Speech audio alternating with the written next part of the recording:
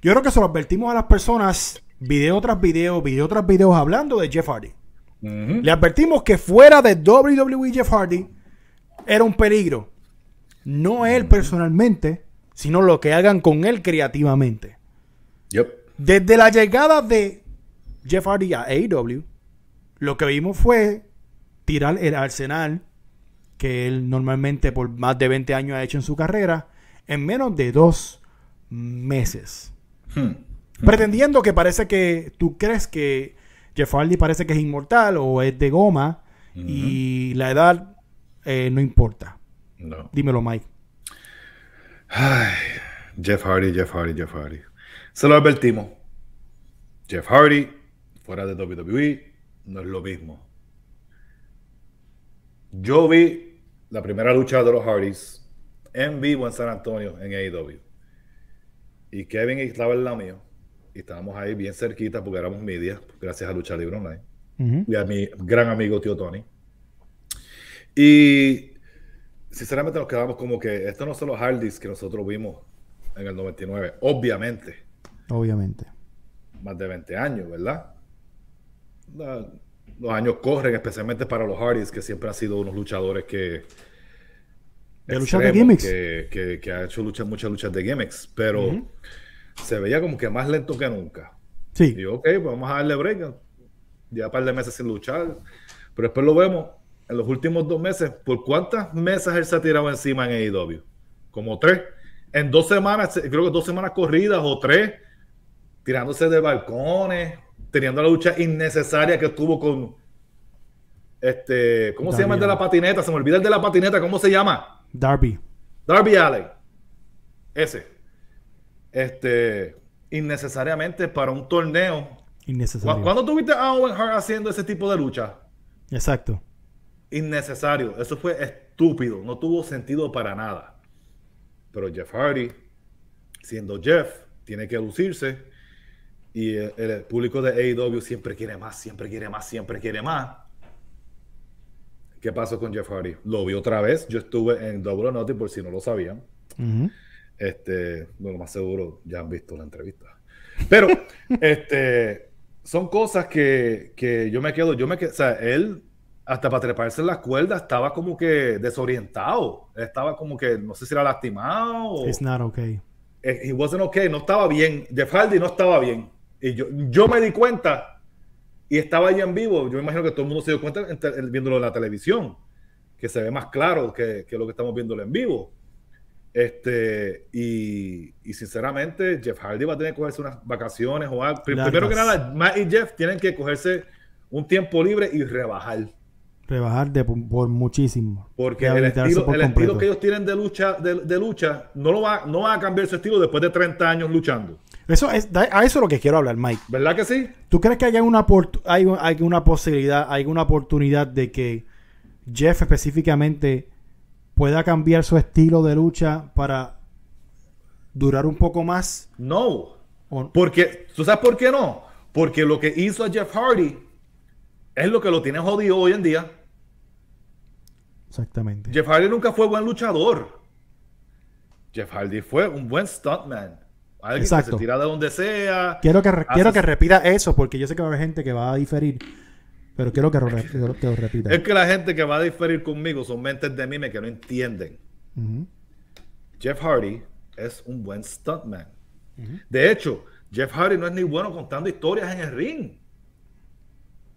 Él lo que hace es tirarse donde sea y que lo tiren a él y, y marometa. Y, y de hecho, las marometas de Jeff Hardy tampoco son tan guau. Él no es Ricochet. Él no es el bacalao de Will Ospreay. No. Él no es AJ Styles. ¿Qué va a hacer Jeff Hardy? ¿Qué va a hacer Jeff Hardy si no puede hacer las loqueras que hace? Que se Yo, retire. creo- yo creo que lo más... Que se retire. Porque Por- ¿sabes qué? por su salud. no, no, no, quiero decir algo. Quiero decir algo. Y yo no puedo creer que voy a decirlo. Los Young Bucks lucieron mejor que los Hardys el domingo en el pay-per-view de Double or Nothing. Los Young Bucks. Se veían demasiado de lentos para los Young Bucks. Y los Young Bucks son unos bacalaos de luchadores. Pero atléticamente son, buen, son atléticos. Obviamente son mucho más jóvenes. Y si ese es el caso, lo que está pasando en AEW, que por lo que veo, no se cuidan. Porque mira, no, vamos a llegar a hablar mal de AEW. Pues después se ponen las ratitas y los meten de mime y se molestan. Sí, pero, pero es una observación. Pero si vamos por la lista y vemos los luchadores, cómo se veían en WWE o, en la Hindi y de cómo se ven ahora físicamente en AEW, parece que AEW no tiene ni para el fitness. no pueden ni pagar 10 pesos al mes para ir a Planet Fitness y darle las pesas. Mira, yo estoy de acuerdo con lo que estás diciendo. Jeff Hardy literalmente ya es tarde o nunca pudo cambiar su estilo. Lo más cerca que pudo cambiar su estilo fue cuando tuvo la riña con Punk, que terminó yéndose calientísimo. Que siempre hemos hablado de esa parte en WWE.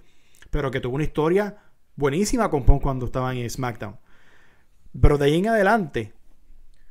Yo no quisiera decir algo. Yo no quisiera ver una riña de CM Punk y Jeff Hardy hoy. Jamás no, no es que no se puede dar. Y hay gente estúpida diciendo eso. Uy, Hay gente estúpida diciendo eso. Eso, se vería asquerosamente. Bueno, eso sería slow motion. Si de verdad quieren a, si de verdad quieren a Jeff Hardy, lo mejor que puede pasar es que lo que ha pasado con los rumores que hay que lo han quitado de la programación. Hay que ver si es una lesión. Hay que ver qué está pasando con él personalmente. La única persona que se, se, ha puesto el pie, se ha puesto sus tropiezos y que va a acabar con su carrera es él mismo. Nadie ha adentado con la, con, la carrera de Jeff Hardy. Él es, el mismo punto y se acabó. Jeff Hardy es uno de los luchadores más queridos en la historia de la lucha libre. Nosotros nos encanta Jeff Hardy. Y es una pena, por eso nos molesta. Pero Jeff Hardy se advirtió, se advirtió. Se advirtió que AEW no importa. Ay, mira, es que de verdad yo no, yo no entiendo. No entiendo el, el, punto de. La estructura, Mike. Hay que cuidar el talento la estructura y siempre lo hemos dicho y cuando siempre hablábamos de eso nos caían arriba el libertinaje que hay creativo hay que cortarlo un poco. Hay que meter a muchos porque no necesariamente lo que te guste a ti hacer o tu estilo como sea no, posiblemente no es, el, no es el mejor para el negocio no es el mejor para tu carrera no es el mejor para el producto para lo que sea. Y entonces pues por eso es que lo aguantaban tanto en WWE que, mira, que está haciendo porquería, sí, pero si lo ponían a hacer 20 mil cosas que le, que le gustaba hacer, posiblemente tiempo. lo hubiese lastimado. Él no está bien. No. Lo mejor, como dice Mike, mira, sinceramente, si no estás bien y no quieres hacer la versión de TNA 2.0, hacer el, hacer el ridículo, mano, perdóname, pero tienes que, tienes que retirarte. Y lo mismo con Matt. Se ven mal. Se ven mal. Mal, mal, mal. No los quiero ver. No los quiero ver luchando. Cada vez que van a luchar ellos, no quiero ver la lucha. No, no puedo. A, Lucio, no sé por qué no se lo han dicho. A Lucio súper mal. Súper mal en el ring. Y hemos estado viendo los AEW. Hemos estado viendo los Dynamite, los Rampage, pay-per-view. Yo estoy viendo los pay-per-view. No pueden decir que no vemos AEW. No, no está bien, Mike. Está mal, mal, mal, mal, mal. Y es una pena porque nos encantan los Hardys. Pero pues, no se puede hacer más nada. El único, el único que Jeff tiene que echarle la culpa es a Jeff mismo. Sí, a más nadie. Él fue el que hizo la, la, la, esa que hizo para que lo soltaran de WWE. Así es. Y mire lo que está haciendo ahora. En vez de aprovechar el momento de hacer cosas, las cosas más inteligentes, mano, el hype y la importancia y las ganas de ver a los Hardys bajaron de 10 a menos 5. Asco. Malo, malo, malo. Nada. No podemos tirar la toalla. No se puede.